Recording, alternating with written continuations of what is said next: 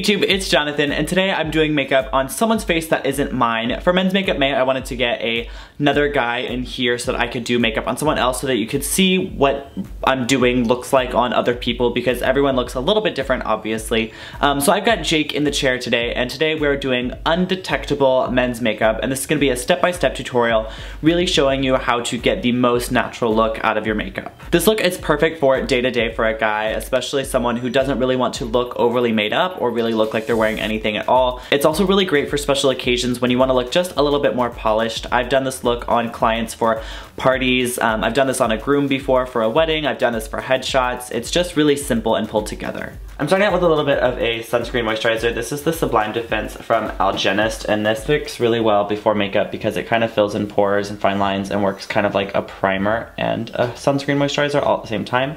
So it's perfect for people who don't really want to spend a lot of time layering and just kind of want one product that does everything.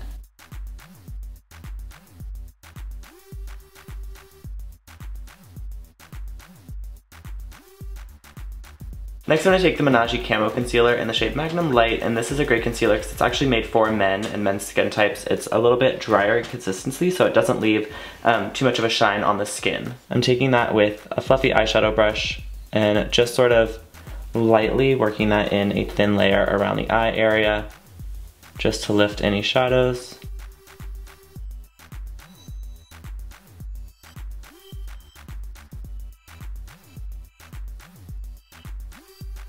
I'm also taking this with the same brush over any larger areas of concentrated redness.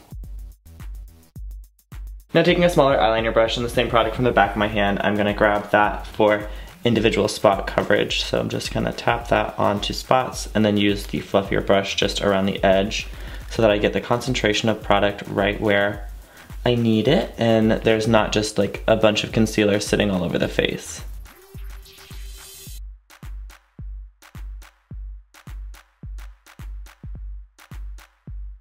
To mattify and add a little bit of coverage to the rest of the skin, I'm going to be using the Laura Geller Double Take Powder. This is their new powder foundation, and I'm just going to use that on a big fluffy kabuki brush and work that in a light layer all over the skin.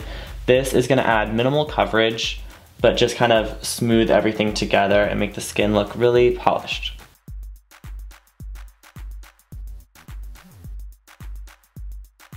And then to add a little bit of color back to the skin, I'm going to be using my Marc Jacobs bronzer. This one is really great for fairer skin tones because it has more of a red undertone. It's not too browny, um, so it's gonna work great on Jake. Using the same brush, I'm just working that on the outer perimeters of the face and over the high points.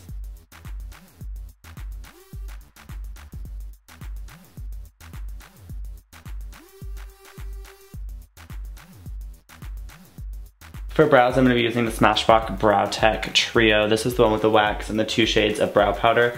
This one is a sample size, but I've had it for literally forever. So I'm going to dip into the wax first with an angled brush and then dip into the blonde side.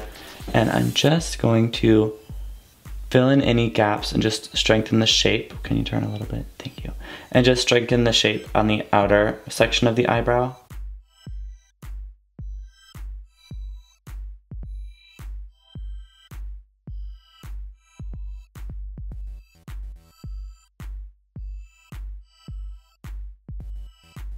And then just for moisture, I'm putting a little bit of Elizabeth Arden 8 Hour Cream on the lips.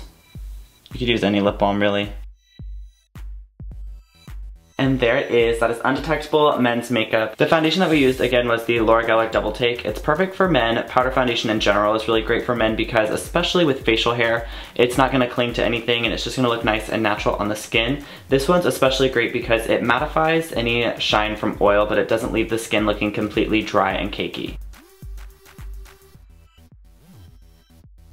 I hope you all enjoyed that tutorial. Thank you so much to Jake for sitting in as my model and thank you all so much for watching. If you enjoyed this video, please go ahead and give it a thumbs up. Leave a comment below if there's anything else that you are dying to see for Men's Makeup May. If you have no idea what I'm talking about when I say Men's Makeup May, go ahead and click the card above so that you can watch my Men's Makeup May playlist because I'm doing men's makeup stuff all May long.